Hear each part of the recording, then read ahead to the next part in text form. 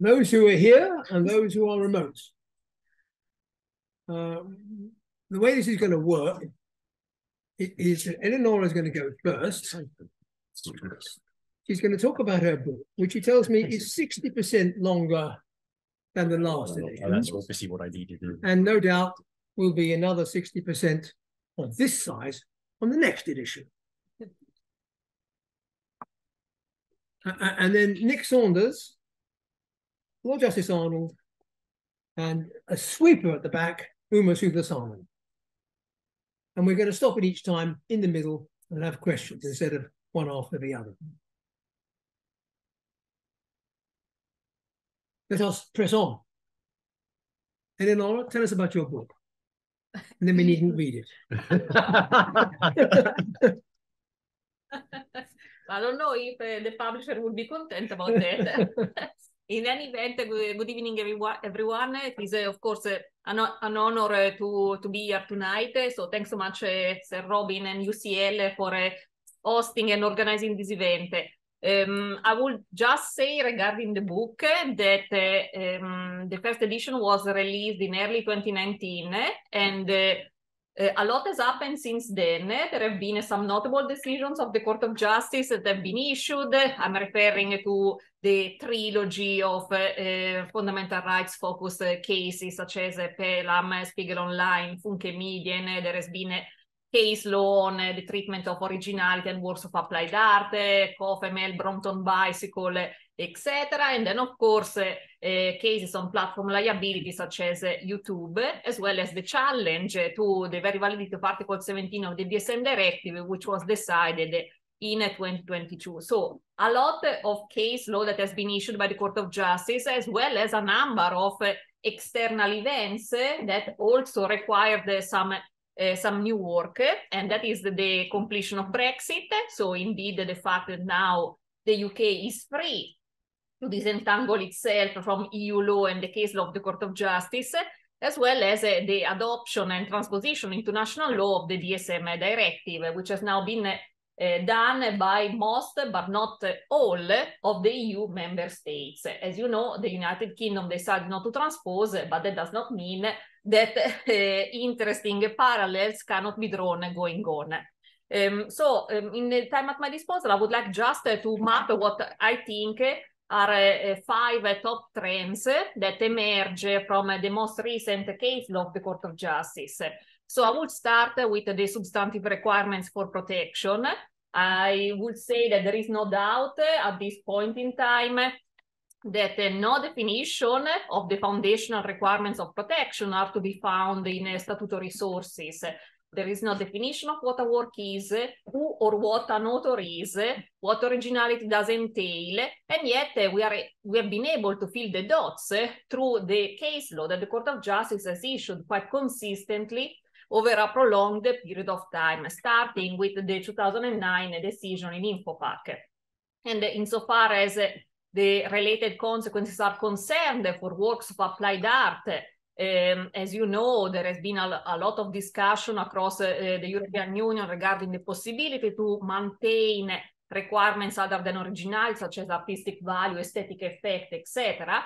And as also the decision in response clothing does correctly indicate, full compliance with EU law requires to drop these extra requirements. And that is also true insofar as categorization is concerned, uh, which is, uh, of course, a constitutive requirement of the UK copyright system. And once again, it seems that this will be incompatible with what the Court of Justice uh, thinks the requirements for copyright law should look like. Fixation this is a requirement that under the Berne Convention is left to the discretion of individual Berne countries. Once again, in the European Union, this is no longer true because if we take the decision in Levola Hengelo concerning the definition of work, indeed, there the CJU seem to adopted a EU-wide definition of what fixation should look like. Um, the final point that is perhaps missing is the definition of author, but for sure when uh, and if the opportunity arises, the Court of Justice will say that also the notion of author is an autonomous concept of EU law, which must be interpreted and applied uniformly across the European Union. Second trend relates to uh, the exclusive rights under copyright. Here we've seen a consistently case law adopting a high level of protection requirement, which in turn has led to an expansive reading of the scope of protection. Uh, in all these, what has emerged over the past few years is the following. First, there has been, there has been a progressive construction and refinement of concepts adopted in some cases. I'm thinking about linking, liability of platform operators. There have been a series of cases decided by the Court of Justice, and through them, the CJEU has not departed from earlier case law, but it has progressively refined, indeed, the treatment of certain areas. Let's think about links and the uh, cases uh, that have been decided in this sense, Svensson, GS Media, VG Bild-Kunst, etc. Uh, and then I would say that another interesting aspect relates to the standard of infringement. Uh, correctly, I would say standards of infringement, depending on the right at issue, but also the object at issue. If we take, for example, the right of reproduction, the Court of Justice seems to distinguish between the standard for copyright works and the standard for subject matter protected by related rights. While for the former, the logic is one of originality, for the latter, it is one of investment. Then moving on to exceptions and limitations, here I think that the most interesting trend is the increasing visibility of the EU Charter of Fundamental Rights. And uh, in turn the somewhat material abandonment of the criterion of strict interpretation of exceptions and limitations. The Court of Justice has progressively emphasized the need for a fair balance and the understanding that there is a horizontal relationship between copyright and exceptions and limitations, up to the point of calling exceptions rights of users. What that means remains to be seen, but it is quite remarkable that the Court of Justice uses this language. At the same time, while emphasizing the need for effectiveness of exceptions, their characterization as rights, the Court of Justice has also excluded that you can directly invoke fundamental rights outside the catalog of exceptions. So you must find a relevant provision under national law, and the three-step test is something that needs to be complied with. Then on a fourth level, I would say that uh, if we look at what the European Union has been doing in the copyright field, a lot has been a reaction to case law of the Court of Justice. And that has been by means of codification or erasure of decisions that uh, were disliked. I'm thinking about private copying, Article 16 of the DSM directive erases, as a matter of fact, the CJEU judgment in Reprobel. Article 17 concerning the liability of certain uh, internet platforms is not a codification of CJEU case law, but goes somewhat in a similar direction towards greater responsabilization of certain types of platforms. Last but not least, and this will be, I guess, the topic of the rest of the discussion, if we look at what has been happening in the United Kingdom following the completion of Brexit, uh, there has been really no departure from the case law of the Court of Justice yet. Uh, if we look at the standard of originality, that is perfectly in sync with what the Court of Justice has uh, construed originality to mean. Skill, labor, and effort are out of the picture for sure. It is authors on intellectual creation, freedom and creativity, personality, and this has been reiterated also in more recent decisions. And uh, when there has been uh, indeed the call to depart from the case of the Court of Justice that was done, for example, in TuneIn, this freedom was not taken advantage of. So this leads me to conclude that if the UK, while having the opportunity, has refrained from going astray from what the Court of Justice has been saying for years, perhaps the CJEU has not done such a bad job to compel one indeed to take a different direction. And with that, I conclude and thank you. Well, thank you, Eleanor. We, we don't need to read your book. it's truly amazing. And we're going to have a Q&A now and, and, and, and, comments now rather than and then we do it with the next speaker. Uh, yeah, Richard. Just a point of information, because not everybody in the room may know this, but Eleonora mentioned the question of fixation. And I was amazed in July to find myself in the Court of Appeal for the first time in my entire professional career, faced with a real live issue on fixation, which was going to be decisive of the case. You don't encounter cases like that very often, um, as my own personal experience indicates. Um, it's a case called Wright and BTC Core, um, uh, and you will have to read it for yourselves to find out what happened. Um, but I think you will find that it bears out quite a lot of Eleonora's theses in her book. Nick. Yes, actually. um, hang on. He's got some slides. I've got a slides. slide. Here we go. Um, so I've been asked to talk about UK participation in CJEU referrals. Obviously, this is of historical interest primarily, but um, let's um let's have a look. So let's set the scene. Um, this is the Court of Justice in session, um, and actually, amazingly, hearing a copyright case. So um, it's very unusual to have a photo of the Court of Justice actually sitting. Um, could this you is tell it's a copyright case? Ah, so I so, so the the um, because obviously phot- photography is not normally permitted. This is their press, one of their stock press photos, and by deducing who's there, this is one of the um Grand Chamber. I think this is from Comedian because we've got Tom Schaff for the Commission, who was one of the people that uh, was there as well. So, um. It's, it's a so it's an odd photo for two reasons. Firstly, because nothing actually seems to be happening in the photograph. Um, there's nobody at their feet doing anything. Everybody's just sitting around um, which I, when I think the Grand Chamber announces its judgments. The second reason it's slightly odd is that um, the UK government's representatives are there in the bottom left-hand corner. Well, more accurately, their papers are visible, but possibly as a result of Brexit, they have been cropped. so um, there we are. Uh, The French government agents are sitting just in front, looking rather more cerebral, perhaps, and that may be another reason why they didn't go for the UK. Um, but um, who have you got on the bench? So you've got um, the 15 judges, President um, Lenaerts in the middle. Um, on the right hand side is Advocate General Szpunar, who's um, one of the Advocate Generals who's heard a large number of, or been involved in a large number of copyright cases. And then around the court, you'll see all the translation booths that do the simultaneous translation. Um, so um, now, what who member state interventions? Who's done what?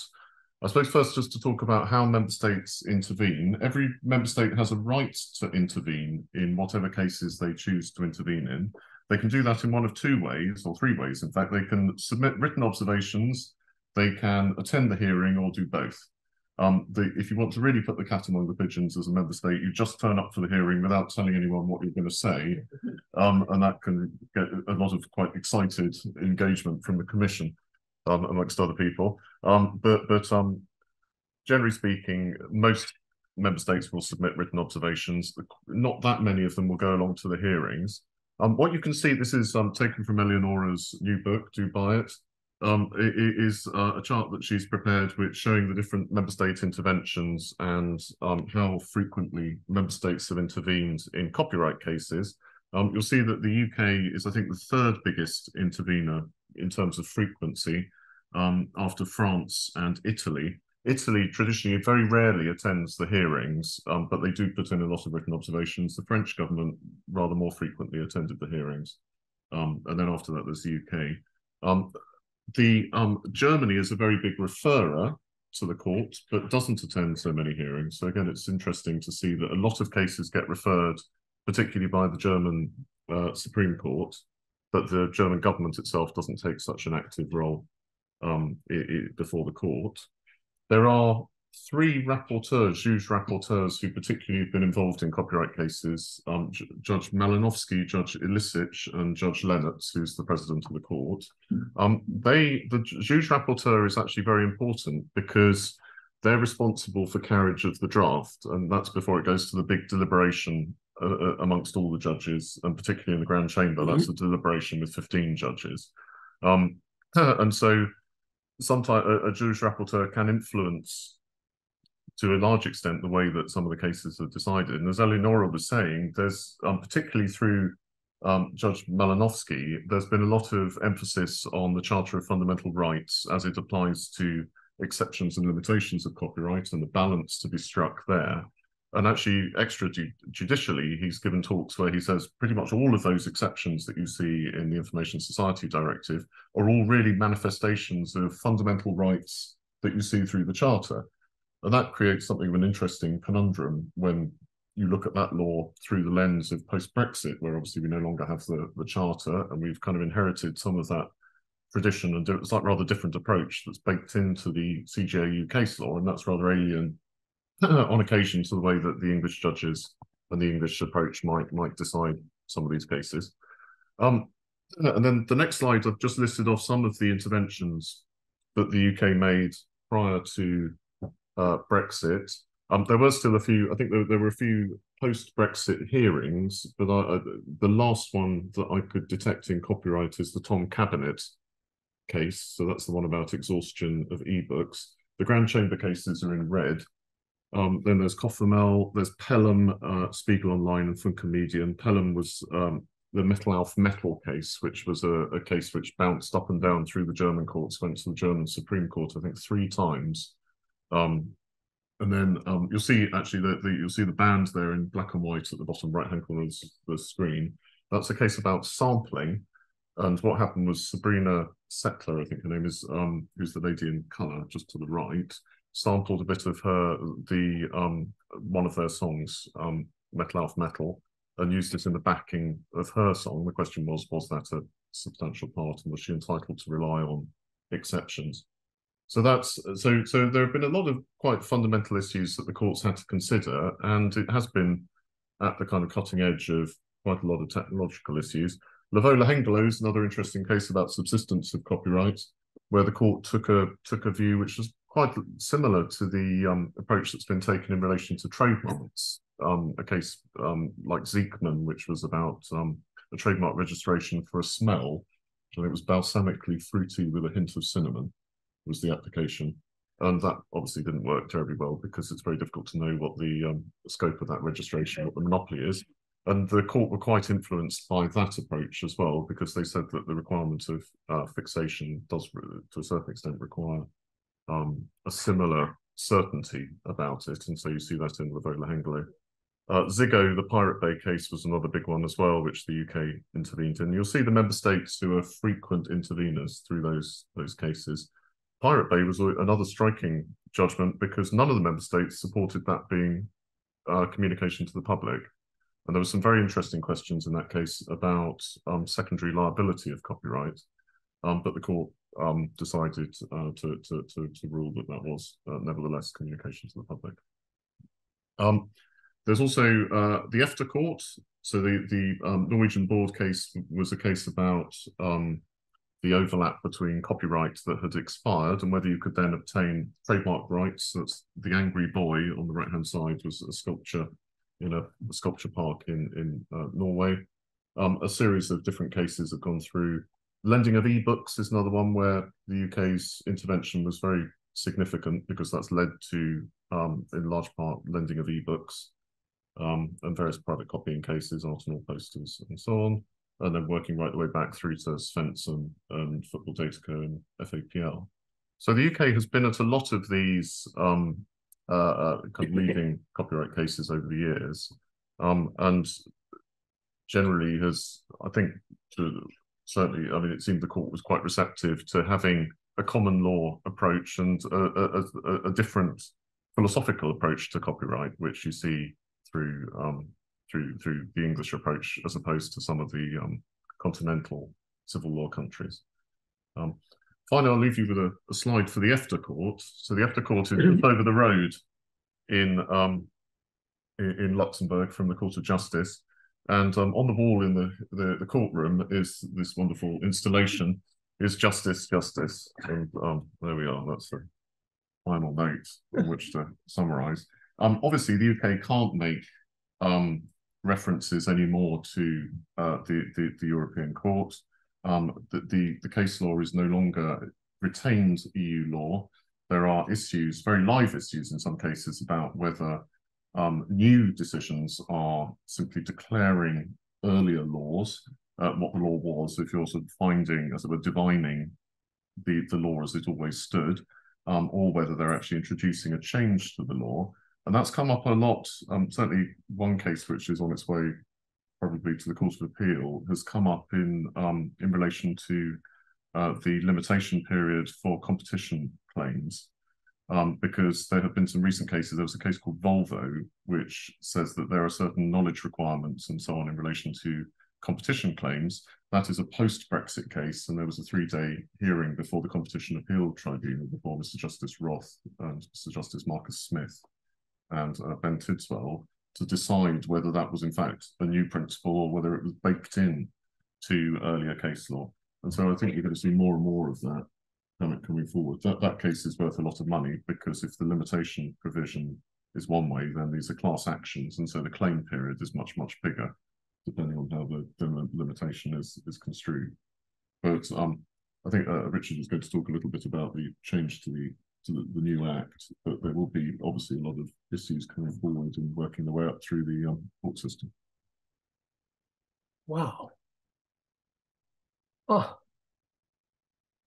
being so ancient, I was actually in the second reference to the court. It wasn't that building, it was another one. And I was led by the great Tom Bingham. So I went to imagine going to the court the day before because he was a bit nervous and he didn't know where he would stay. And we went into the mm. courtroom of that first courtroom of the European Court of Justice, and somebody said, Oh, look, the seats have got ashtrays. And Tom said, If you have a job lot of aeroplane seats, you must take them as they come. now, questions? Challenges? But then, eh, you know, I have a comment for Nick, no? Yeah. Now, of course, you mentioned the Pelham case and now it has been referred once again to the Court of Justice, asking whether a sample can be pastiche. And since the pastiche has been addressed in the UK, one of the few European countries where this has happened judicially, what you think about the question whether a, a sample can be pastiche, and more importantly, what is pastiche?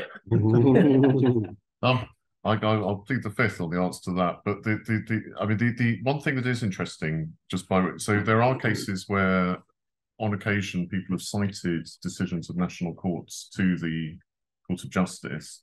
On the whole, the Court of Justice is rather unimpressed by them, not because they're not well decided, it's just that they like to consider it their own body of law that they interpret.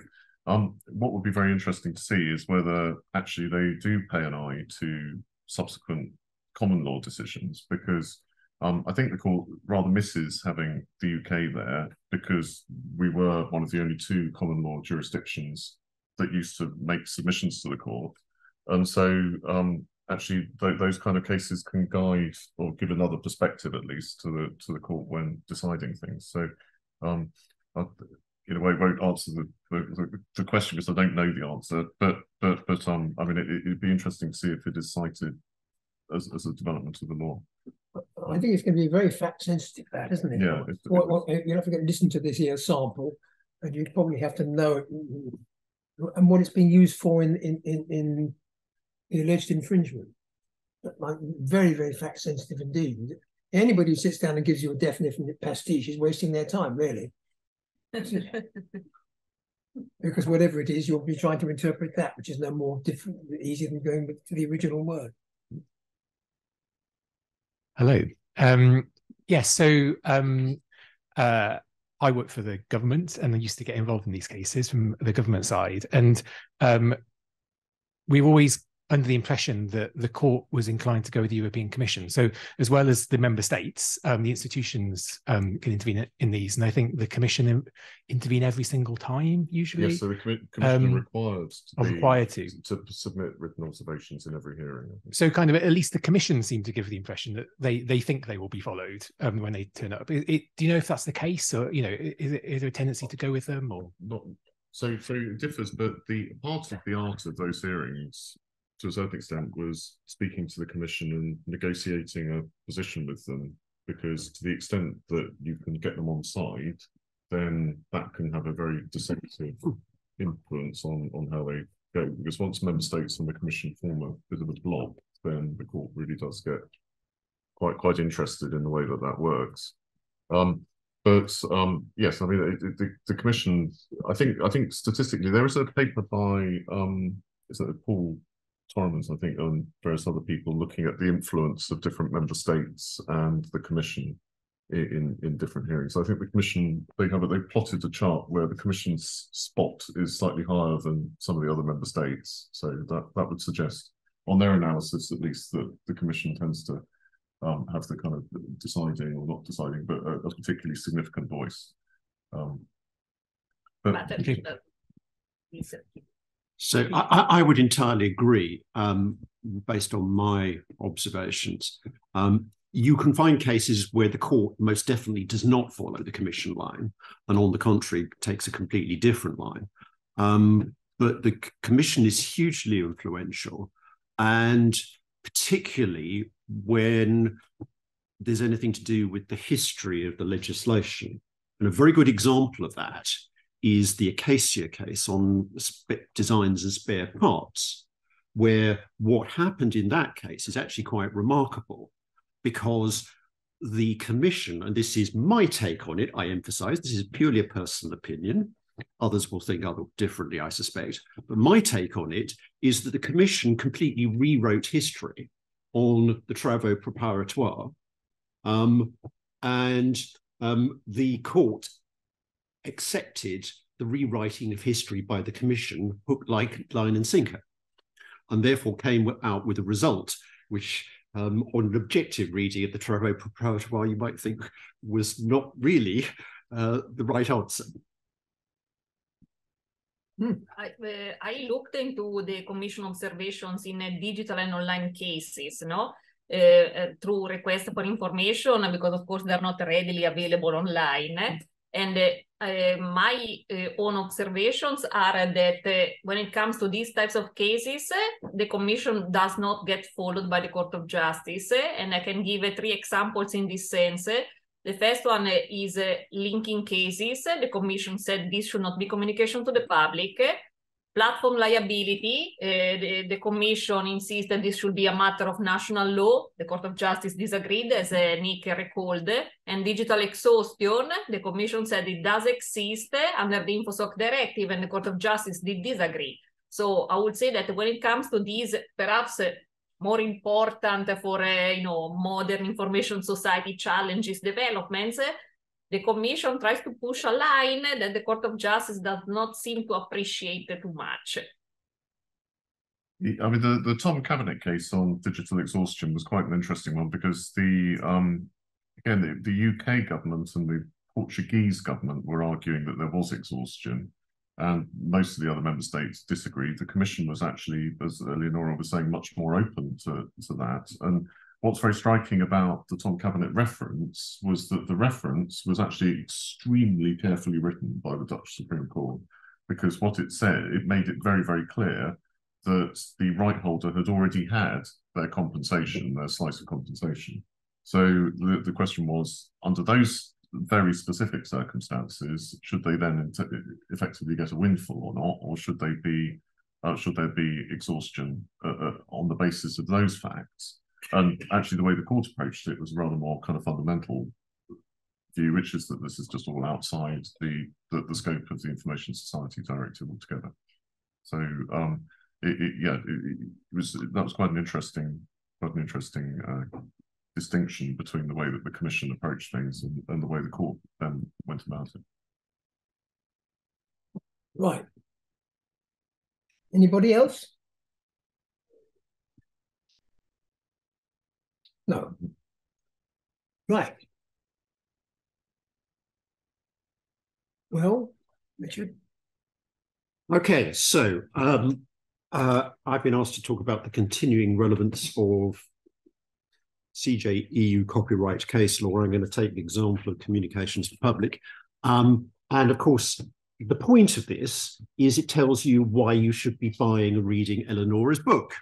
Um, and I can vouch for it, having um, read all actually, it. As a matter of fact, we've got some heavyweights outside, and you're not going to get out of this building.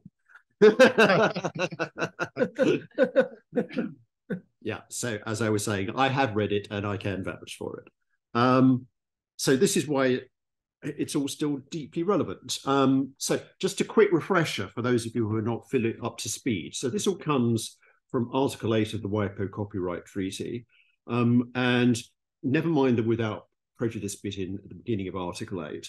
Um, what it says is that authors of literary and artistic work shall enjoy the exclusive right of authorizing any communication to the public of their works by wire or wireless means, including making available. And then there's an agreed statement uh, that says mere provision of physical facilities for enabling or making communication doesn't itself amount to communication. But that's it. That's that's at the international level all you get. And it doesn't get much better when you move on, firstly, to the regional level. Uh, Article 3.1 of the Infosoc Directive um, says that member states shall provide authors with the exclusive right to authorize or prohibit any communication to the public of their works by wire or wireless means, including making available. It adds on a non-exhaustion rule in paragraph three.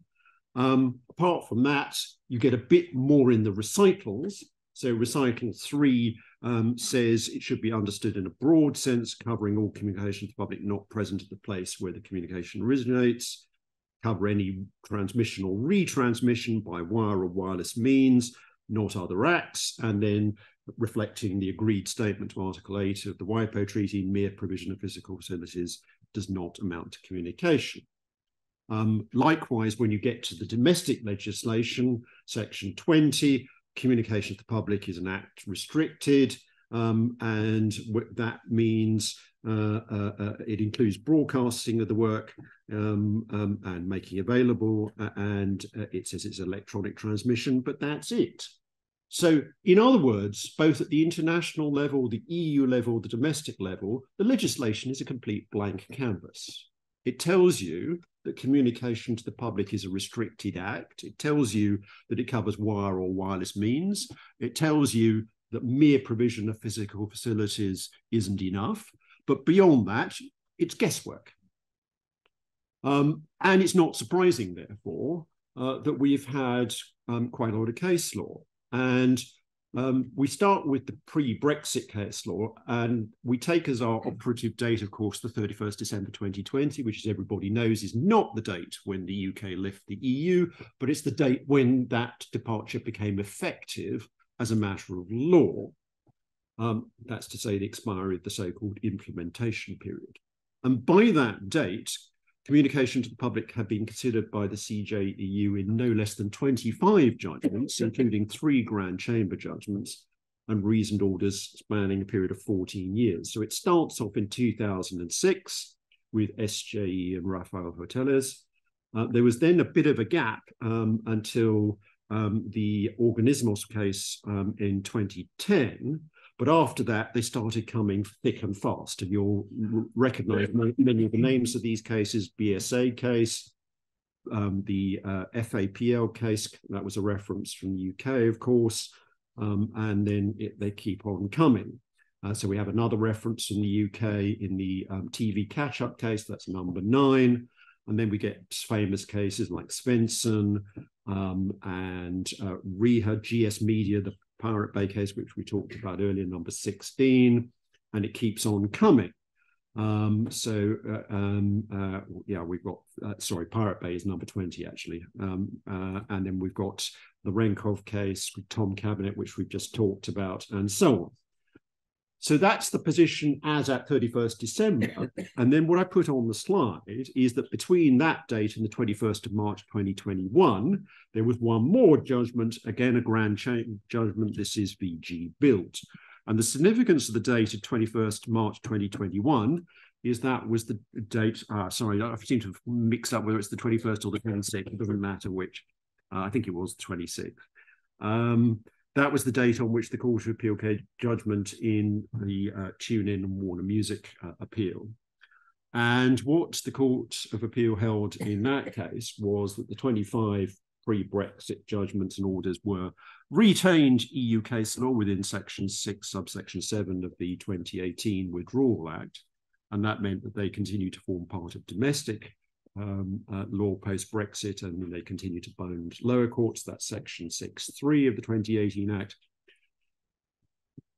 Under the 2018 Act, as amended, um, both the Supreme Court and the Court of Appeal have power to depart from these judgments and orders, but only on the same basis that the Supreme Court has power to depart from one of its own precedents or one of the House of Lords in accordance with the practice statement judicial precedent back from 1966, which is very rarely invoked. So the Supreme Court does occasionally depart from its own precedents or House of Lords precedents, but it's very rarely and sparingly done. So far as post 31st December 2020 judgments are concerned, they those don't form part of retained EU law. They're therefore not binding, but nevertheless, uh, one can have regard to them. Um, that's section six, right. subsection two of the 2018 Act.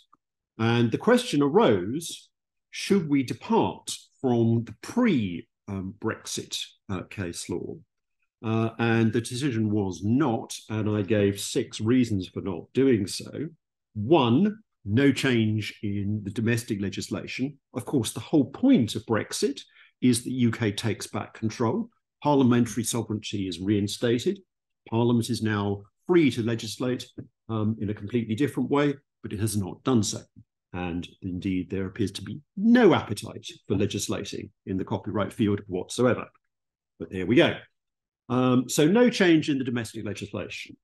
And then secondly, no change in the international legislative framework either. We're still under Article 8 of the WIPO Treaty. And if you look at the Court of Justice's case law, it has said repeatedly that Article 3.1 of the directive should be interpreted so far as pos uh, possible consistently with the WIPO Treaty. And of course, under our domestic approach to, imp- to uh, interpreting legislation in accordance with international legislation to which the UK is a party, we take the same approach. Next up, um, for the reasons that I touched on a moment ago, interpreting communication to the public is a difficult task. There's no guidance in the legislation. And it's particularly difficult because of the conflict between the broad nature of the right of communication to the public on the one hand and the global and interconnected nature of the internet on the other hand. And I pointed out that the Court of Justice had unrivaled experience in confronting this issue in a variety of factual scenarios and had developed its jurisprudence over time. It wasn't free from difficulty or criticism, but didn't follow that better solutions were readily to hand. Now, just pausing there, I'd like to come back to the statistics that Nick gave you earlier and supplement his statistics with some of my own. So, in the course of my career on the High Court, I made 14 references to the Court of Justice. When you break them down, of that those 14, there was one copyright case, that's SAS and WPL. There were four trademark cases, and there were nine SPC cases. And it's not an accident that that's the way it breaks down. Um, I won't. I'll leave SPCs on the one hand, but four to one trademarks and copyright is a pretty good reflection of the relative rate at which you get copyright and trademark cases coming before the High Court. You get about four times as many trademark cases as you do copyright cases. Um, and that's on a generous view.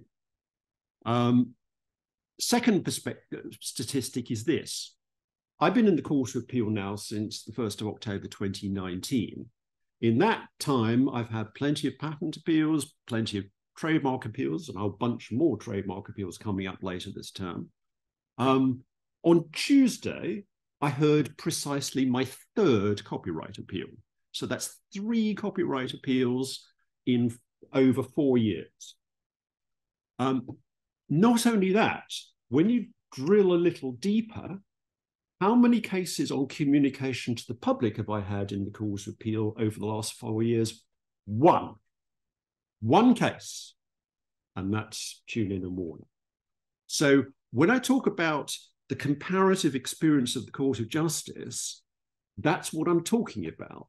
Yeah, they've had to deal with this issue time and again, including multiple cases in the same year. I've had one case in four years. Um, Next on my list of reasons, no academic consensus on these issues. Um, pausing there again, I would like to emphasize that I value very highly the contribution of academic lawyers to intellectual property law. Um, people like Eleonora on my left and Uma on my right um, have a great deal to offer. What about this academic? Um, well, you're, kind of both, you're kind of both, Robin. so you're both both judge in the past and academic now, but yes, point taken. Apologies. Um, yes, they've all got a lot to offer, um, but um, this is a highly contested issue in the um, uh, academic community, and for good reasons. Um, so there is no consensus to guide us. Um, likewise, when you look at the case law from the common law countries, well, that's not very helpful because their statutory framework is different, and their case law is not exactly settled or consistent either. And that takes you back to onto reason number six, which is if you scrap all of the Court of Justice's case law, then you're faced with start going back to the drawing board, starting all over again. And what would be the result of that? Answer massive legal uncertainty, particularly given the small number of cases we get in this country. So, those re six reasons, it seemed to me that one shouldn't depart from the pre Brexit case law. Um, then, of course, we had the question of, well, what do we do about the VG Bild, which was not binding? So the view we took on that was that it was highly persuasive for five reasons. First off, follows from what we have just been saying. It was judgment number 26 um, on the same issue, uh, and the other 25 we had decided not to depart from. It built upon and further refines the previous jurisprudence. It was a grand chamber decision, so therefore particularly authoritative. It was directly relevant to the issues in the instant case. And importantly, it addressed the relationship between the earlier decisions in Svensson and Renckhoff, which the judge in the High Court, Mr. Justice Birss, then was, had perceived to be in conflict with each other. Um, so that's where we stood as at 26th of March 2021. Since then, we've had four more judgments from the Court of Justice on communication to the public. And this, again, emphasizes the point that I've been making to you. So, um, just in the last two and a bit years, we've had four more judgments um, from uh, the Court of Justice um, including an important Grand Chamber judgment in Peterson, um, aka YouTube, and Cyando. Um, uh, and I'm happy to tell you that, notwithstanding the fact that the Ocilion decision was given as recently as late July, Eleonora's book is sufficiently up to date to include um, that one. It's not in the table of cases, but don't be deceived. That's a mere oversight. When you look at the text, it's there, it's commented on. Um, so at the moment, at least on communication to the public, um, she's bang up to date, which is remarkable when you think about it. Um, but again, it emphasizes the conundrum. What are we in the UK supposed to do um, when we've got all this case law coming thick and fast out of the Court of Justice and yet, domestic cases come along once in a blue moon um, in which to uh, reach decisions on these difficult uh, questions. So, where do we stand um, right now? Well, as many of you will know, um, we're on the cusp of another change. So, as we stand as of today's date, prior to the 31st of December this year, um, it seems to me that the new Court of Justice case law would be unlikely to make any significant difference to the question of whether the Court of Appeal or Supreme Court should depart from the pre Brexit case law, um, which is not to rule out the possibility of such an argument succeeding for other reference, uh, other reasons. Um, the new case law is, of course, a persuasive authority only, and exactly how persuasive it would be would inevitably depend on the issues in any case pending before our courts. But let's look forward to post 31st December, because what happens then is that the REUL Act kicks into fully into force. We understand. Um, some of it's already in force. Um, it requires a statutory instrument to bring the rest of it into force, which has not yet been laid before Parliament, as, as far as I can see. but we understand that it will be brought into force with effect uh, from the 31st of December. And this does a number of things.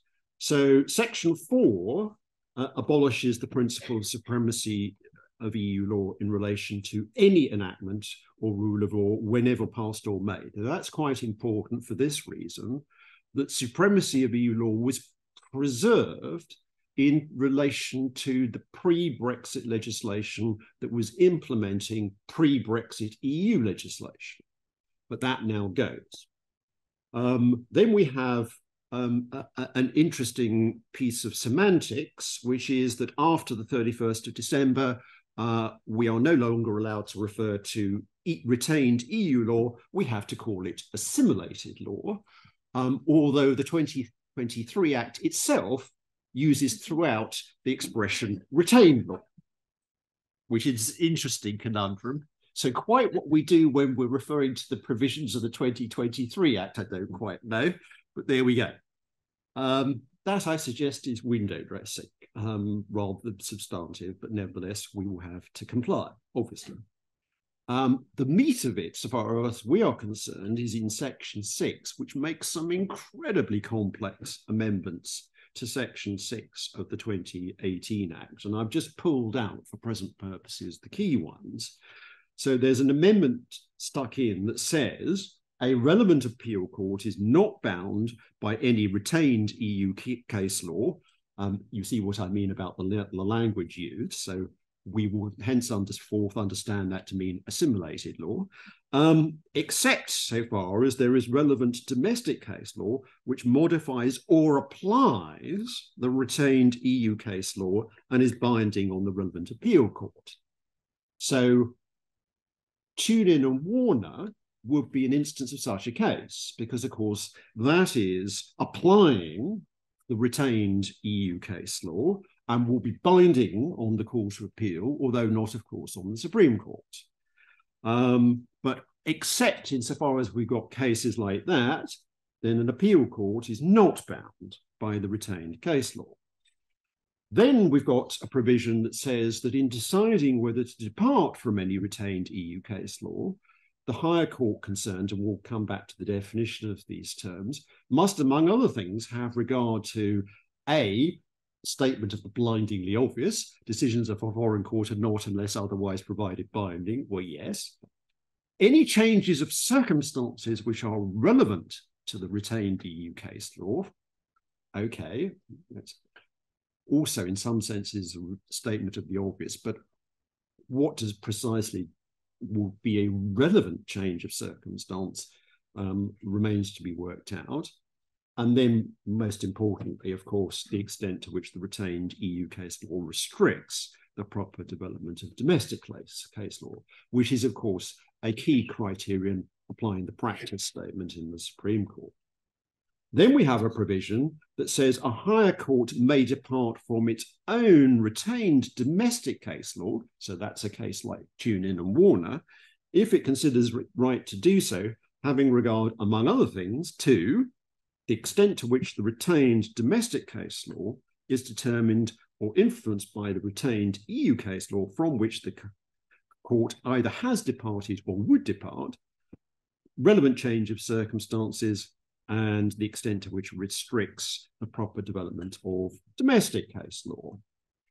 And then we've got unconstitutional novelty, which is that a court or tribunal other than the higher court may refer to the Supreme Court or appropriate appeal court one or more points of law which arise on retained case law and are relevant to proceedings before it if it's bound by retained case law and it considers the points of law are of general public importance. So, in other words, you can have the High Court referring points of law up to the Supreme Court of Appeal or the Supreme Court.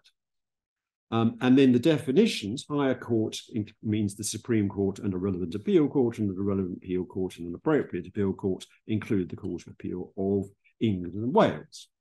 So, post 31st December, uh, we are into a brave new world where litigants are going to be um, finding out what the consequences of all of this are for their problems.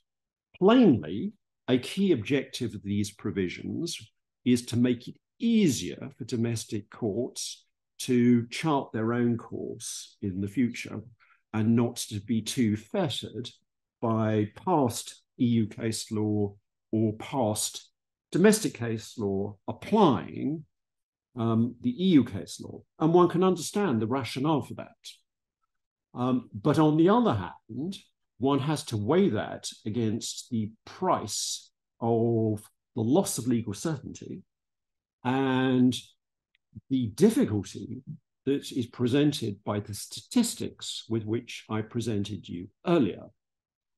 How realistically, in a field like communication to the public, do we do that if we get one case in the appellate courts every four years um, in circumstances when there's a continual flow of court of justice case law continually refining what it has said before. It's not an easy question to answer. Um, but there we go. That's the future. Thank you.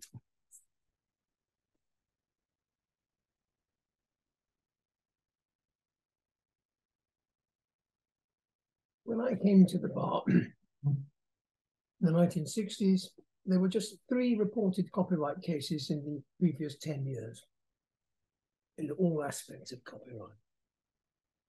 Not sure that the world is better for all this. Um, and ask, I've got my question, Richard, which is this. All that stuff they've written there,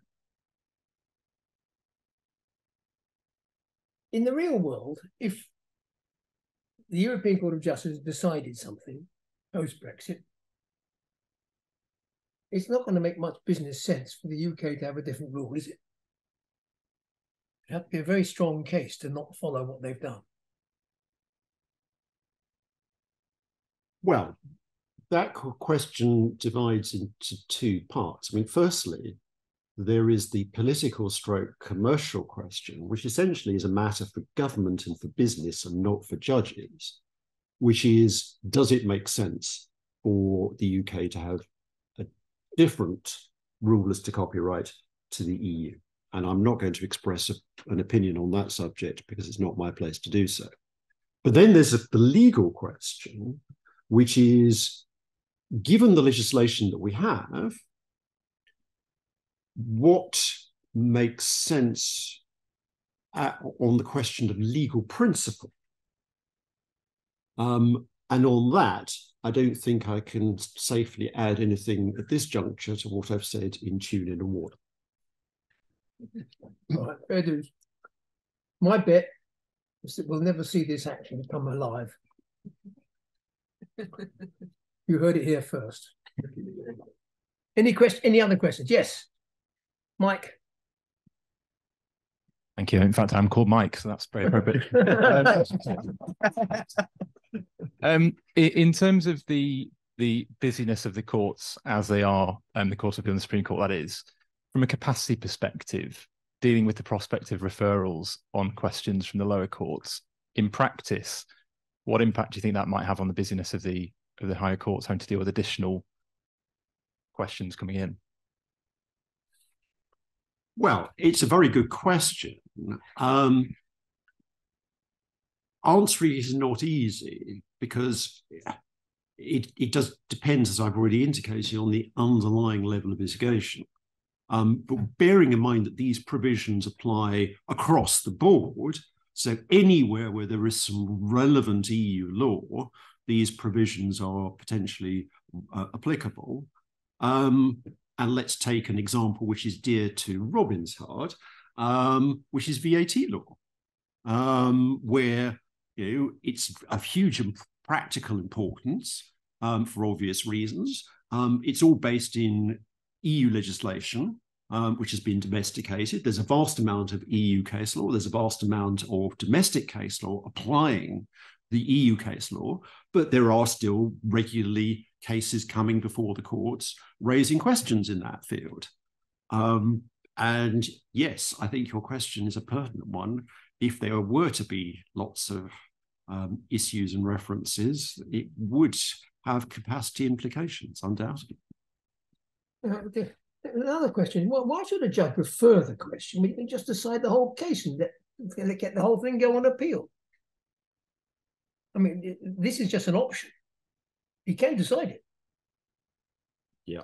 Uh, and he- he's got as far as writing a judgment about what the point is and so on and so forth. Might as well send it, and decide it. I, I don't understand this legislation at all. Or is the idea you refer it without deciding it? Well, that's Yeah, the point. just- you The just- is you refer you it without box it up. deciding it, then it comes back. What's the point of that?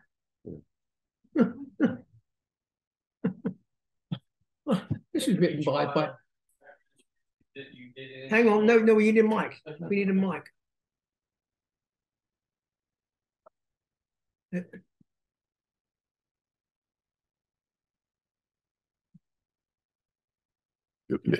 To to frame the question a little bit more succinctly, perhaps, um, uh, Richard, you saw the benefits of a pretrial reference in the Interflora case, and, and perhaps that's a circumstance where you thought that the point would be determinative of the issues in the case to allow a lower court judge to make the decision. Well, that's very true. But um, as I'm sure everybody in the room appreciates, that was a very unusual um, uh, scenario. Um, and it's worth explaining a little bit. So, I ref- these were references two and three that I made to the Court of Justice. They were made on the same day, um, and that was quite deliberate because there were overlapping issues. The Court of Justice regrettably um, didn't pick up on that, and so they were dealt with separately by the Court of Justice, um, and not 100% consistently, but there we go. Um, so the two in question were L'Oreal and eBay, and Interflora and Marks and Spencer. Um, but to pick up on Ian's question, the context was that I'd had a full blown trial in L'Oreal and eBay, found all the facts, um, and was therefore in a good position to make a reference um, in that case from any perspective. Um, it might be said, and I think it was said at the time, that I was sticking my neck out a bit um, in the Interflora case by making a reference because that was done pre trial. So the facts had not been found. However, first of all, as I say, um, it was very much a parallel case to L'Oreal and eBay in many ways, where the facts have been found. First of all, secondly, although there were factual disputes in Interflora, the, the basic factual matrix was not in dispute. So you had a sufficient basis for making reference, given that the key questions were legal ones. Um, but although I did it in that case, that's the only time I did it. And I think you know, the, the view in the in in the in the domestic case law, and this is a view that I think is shared elsewhere in Europe, is you've got to be very, very careful before trying to make references to the Court of Justice before trial, because although it has the advantage from the parties' perspective that if they know what the law is, then they can direct their evidence accordingly. It has a real problem from the Court of Justice's perspective because they don't know fully what the facts are. And trying to pronounce on the law without a full understanding of the facts is a recipe for um, bad law um, and bad decision making. So one has got to be very, very careful about making pre-trial references. It's the same, exactly the same we've had for years. You could a, a judge can send a preliminary point, decide a preliminary point of law in a, in a case. He wants to. Just doesn't happen anymore. And, the, and on the whole, the Court of Appeal already said time, time and time again, don't do it. I mean, you, you know, Donoghue Stevenson was a preliminary point of law. Can do it. Um, you know, nobody ever knew whether there was a snail in the bottle. so should we go on to right. Uma.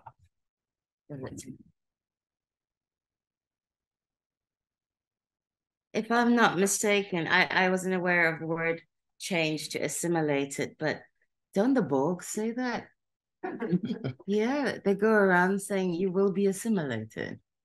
Uh, and I, I am just starting to wonder who the draftsman was who, who, who decided to change the word. Okay, uh, finally, an academic perspective. Uh, first of all, it's a fantastic book, Eleanor. So you need to point it over there. That's the There we go. There. It's a great book. I read it. I also read it uh, for for two re- for three reasons. One, because Eleanor very kindly asked me to come and say a few words about it, so I had to read it. Um, and she also very kindly sent us three copies of the book. Um, secondly, uh, in order to to basically as all academics do, the first thing we do really, you know, you look at the bibliography, right? And you go down and she cited me. Great book, yeah. Uh, therefore, I start the citation of her in my books. But thirdly, I was actually looking at it for the purposes of teaching, and uh, it, it is very good for teaching. I have to say, it's very clearly said. Um, there are great diagrams and graphs in there. Uh, I don't, and and, and uh, during the wine reception, I am just going to ask you, you know, um, to to uh, whether you're going to give a seminar on those graphs where you did the calculations. And I also came across one of the funniest footnotes ever. It's footnote 46 on page 147 for those of you who have it. And this is in relation to the Cofemel decision. I agree with what you say. You know, it, it was bleeding obvious. I mean, you could see it coming from Infopaq onwards. Um, and, and the way a lot of people reacted with shock horror to to Cofemel was bizarre. But you put it so beautifully in the footnote. I considered such a conclusion unavoidable, I being Eleanor. Although I also observed that the CJEU case law on the foundational requirements of protection under copyright appears to have caused in some people something akin to a perduring post-traumatic stress disorder. so true so true. Excellent. So the footnotes are worth getting, you know, from the book. So just uh, I was asked to do constitutive elements, and I decided to do it uh, in in a sort of mathematical way. Um, basically, this is it. Originality is free and creative choices, which is said in different variety of ways. What I have some consternation of, and and perhaps you did talk about it in the book, and I wanted to know your views on it. Some of the discussion, especially by the Advocate General, seems to go towards looking at intention and purpose. And yeah, so this this is the tracing of it, and uh, you know, it starts from Infopaq, and and yes, I I remember Infopaq so well. I remember when it came out because I had to do uh, for those of you who, who don't know, I'm also the editor for the, um, what is it? European Copyright and Design Reports. And so I have to read cases. I have to read um, Sir Richard's long cases and, and summarize them for case notes. Um, so now. And and and and Infopaq struck me, but it wasn't just me. It was academics. Um, to those who wonder why we exist, but it was Luke McDonagh and can't remember who the third person was. And we were in a pub, as all academics, you know, go to uh, after being academics. And we, we we we were completely stunned by Infopaq. We kept talking about the mandate, and people were googling on the phone. What exactly is the mandate of the CJU. Can they just take something from the InfoSoc and completely lay it across the? What have they done? They've behaved, in our view, like an English court you know, making law, going outside. It was like a Lord Denning moment, you know. I don't have enough here. We're just going to expand it. And, and that was what Infopaq did. And from that minute, you knew where they were going, um, I think. And then BSA comes about, which talks about, you know, um, GUIs and categories and etc. And you knew, ah, they don't like categories, do they? They don't like close categories. And that that was another death knell. Talking of death knells, by the way, as I told you, I, am an ECDR editor and I have to look up CURIA, etc. And I've been and I always look for English first before the other. The word English for you know the language of the case has been removed. It's now Irish. Oh. so it's French, German, Irish. I thought that was interesting then Painer comes comes along, you know, and and and adds things like um personal touch. I think one of the things I I was also interested in the way you laid laid it all out because you know it's a very logical sequence. I wondered whether it was a logical sequence, but it is true that by the time you get to Cofemel and and um, Brompton, um, the, the, the manner in which, the grand manner in which the court states, as it is settled law, and then they state it down. But the settled law is something that they've been doing since Infopaq. And it's it's lovely the, the, the way they, they they present it to you. But but you shouldn't be shocked, really.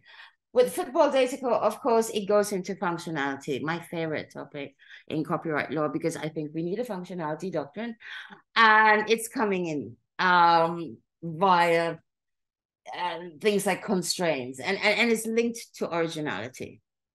And then it goes on, of course, to Funke Medien. And this is the one which it's the one case I'm not quite sure about, partly because of the Advocate General's opinion as and also the court takes it on, whereby they judge a work. And I'll come to originality in a minute after this um, tirade on cases.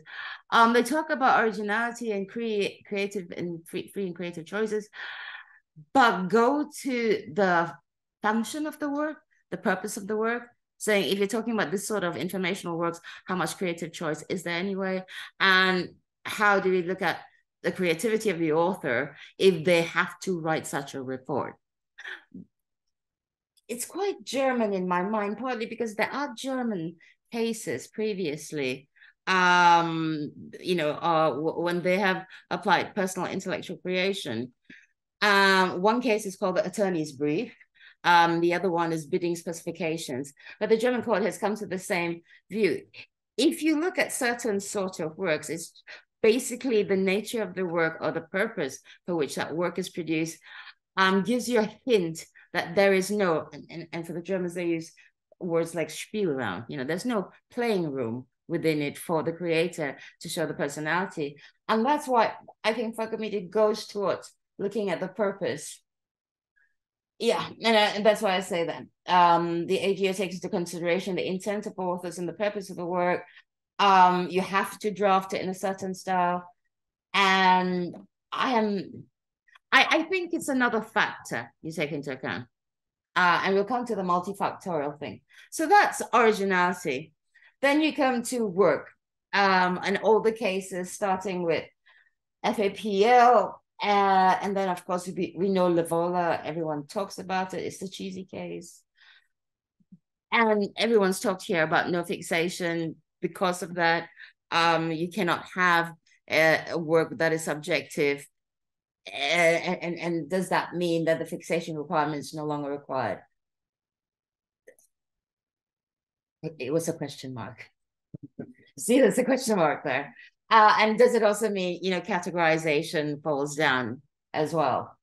And so then you come to Cofemel, and you know, then you shouldn't be shocked at what Cofemel and then Brompton Bicycle say with, with, with all these cases leading up to it.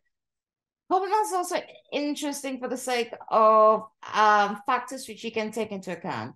And of course, Brompton sort of repeats it and adds to it because there was an existing pattern specification as well. And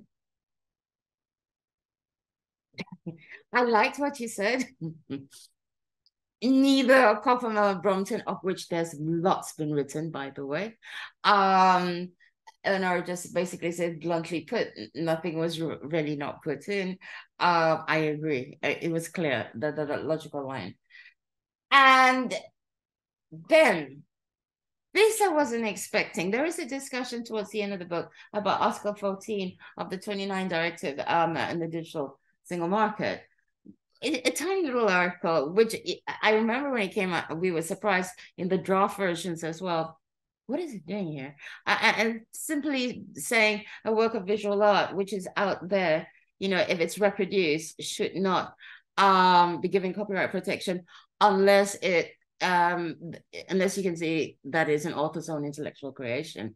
And Eleonora takes this to say, which is really astounding, that it's almost um, a legislative codification of everything the CJEU has been doing. So although they've been doing it, in my view, slightly outside their mandate, and I don't know whether anyone agrees with it, but I think they have been. Um, but that's why I say they've been acting like an English court in, in, in many ways. It's been codified under Article 14. And I, I think there's a debate on this one. But I think it's a really interesting debate. Um, so purpose, intention of author. The last thing which I don't see is the perception of the public.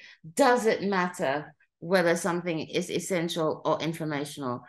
And and one of these questions is really important if you're talking about works of applied art, which um, I've been asked to spe um, specifically focus on. And in works of applied art, the problem is, of course, the thing shifts market. It shifts from a museum, a gallery into a general products market, and then it shifts back again into a gallery. I mean, go to the V&A, as I tell my students, um, where you see typewriting machines and Doc Marten boots.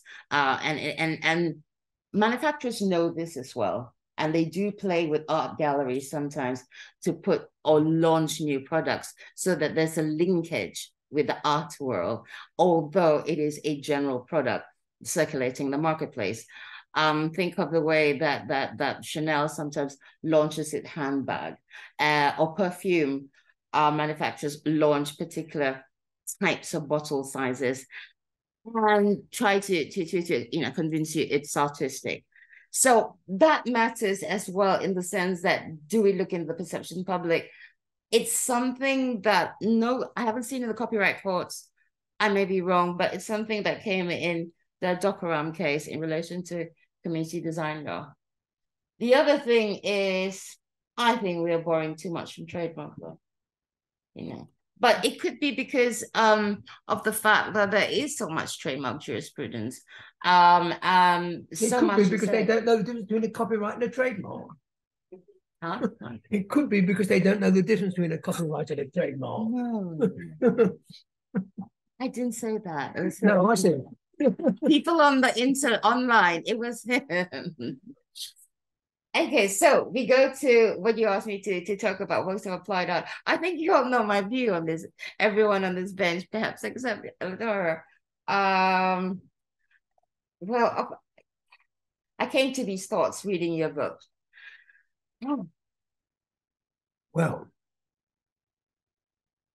firstly, I think everyone who wants Section 51 to be brought, so sorry, Section 52 to be brought back and to have strict demarcations between literary, artistic, la la la, and to completely analyze and apply Section 4 of the CDPA in a strict fashion uh, cannot have read all the cases on works of um, works of artistic craftsmanship, or indeed on sculpture. And one thing I can see in the CJEU jurisprudence, which is why we shouldn't deflect from it, that's my whole point, don't deflect from it because there are tools within copyright law to deal with the problems of functionality and concerns of competition. Secondly, um, the concept of public domain, it's flexible um, as uh, concepts of functionality, etc. I think I'm coming to the point of do we have to change the law? We we may need to have it clarified by the courts, but do we have, need to have legislative um, changes within the CDPA? I don't know because it's flexible. And my view, yeah, it's flexible.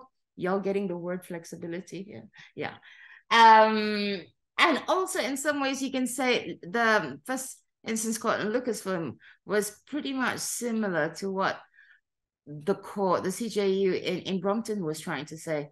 Um, it's a multifactorial test. Take everything into account to come to your view as to whether or not something has originality. And do we change our originality test? Because um, there's a lot in the book about the skill labor judgment and whether it's dead. And I think response and water case are interesting. And, and, and I've said it before, I empathize with the judges in those two courts because they had to straddle CJE law as well as UK law and somehow find a way to say, it's okay under both laws. Unless we want to keep on making our courts and judges do that, i.e., go between UK law and say it's all right and it's all right also under CJE law, and whether my decision is right or wrong, it's all all right. But you can see a sort of existential, you know, discussion between the two sets of law. And I just said, why not merge the two?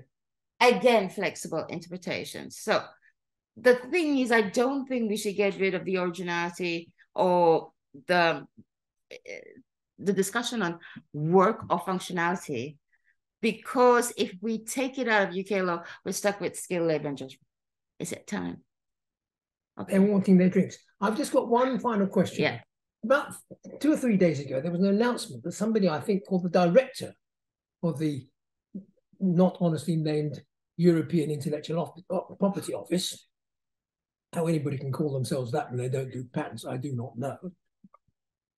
And he wants to float the idea that there should now be a European copyright law, full stop. It reminds me of Mr. Justice Astbury in the 1930s. He said, reform, reform, aren't things bad enough already? what do you all think about a European copyright law? I think it's, it's, it's going to come. Is it a good idea or should we stay where we are? Well, I'm going to answer that question with a different question, which which in some ways comes back to what Uma was saying. So I think Uma was suggesting, um, and one can see the force of her argument, that we don't need legislative change in the United Kingdom because um, the courts are able to do the job. Um, to which I would riposte, what about works of artistic craftsmanship? Yeah, this is a concept that comes from the arts and crafts movement in the 19th century. Why is it that in 2023 we're still having to ask ourselves whether something is or is not a quote work of artistic craftsmanship? Which William Morris approved. yeah, I mean, so, sorry, could I just quickly uh, repost the repost? Um, it doesn't. It doesn't. If you look at all the parliamentary committee meetings and all those boring stuff leading up to the 1911 Copyright Act, at no point was there any reference to the, the arts and craft. Neither that movement with, with Ruskin and Morris.